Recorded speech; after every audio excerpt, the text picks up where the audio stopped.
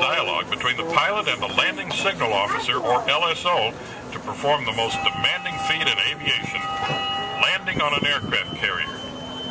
The LSO will provide verbal directions while the pilot uses an arrangement of colored lights called the Fresnel Lens Optical Landing System to constantly gauge the approach. The display you are watching is a representation of the actual Fresnel lens system located on the platform beyond the fence. Staying on the correct glide slope is critical for landing on an aircraft carrier. The Fresnel lens uses a row of green datum lights to define the horizon. In the center, a column of amber lights shine, though only one light box called the meatball can be seen at a time depending on the pilot's viewing angle. If the aircraft is on glide slope, the pilot will see the meatball level with the datum lights.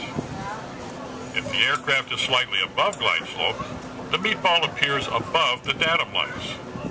Gently reducing engine power will bring the aircraft back into the right glide slope and the meatball will appear level with the datum lights. If the aircraft is well above glide slope, the meatball appears at the top of the column. Reducing engine power significantly will get the aircraft into the right glide slope.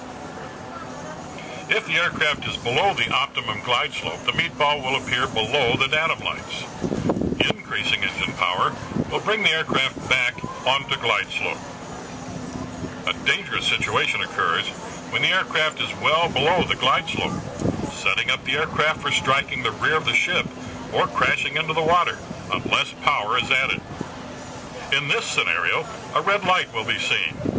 If the pilot does not immediately increase engine power to get back onto the glide slope, the LSO will press the pickle switch to activate the wave-off lights to direct the pilot to add power, level the wings, climb, and discontinue the approach.